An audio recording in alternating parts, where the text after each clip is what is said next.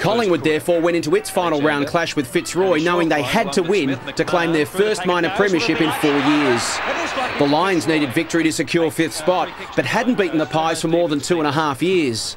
However, they completely dominated the first half, holding Collingwood goalless on their way to a 37-point half-time lead. To Irwin, takes a good mark. Got nicely by Clayton, who's got the big job of guarding Kink. Here towards centre forward. Oh, a great mark by Garry Wilson. A super mark, that one. On to O'Neill. On to Connor. Trying to do it again on his own. Boots this time into the goal square.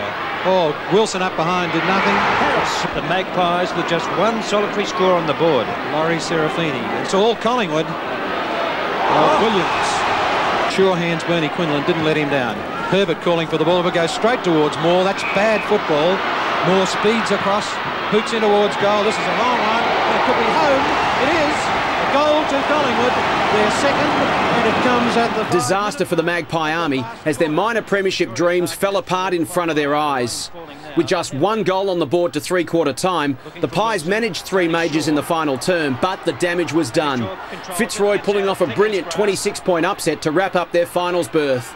Collingwood shattered as they handed top spot to bitter rivals Carlton. In towards Irwin. Irwin has a quick look, fires it towards goal. It's another goal to Collingwood, kicked by Warwick Irwin, and that's their second in two minutes. And it took them two complete quarters to score their first.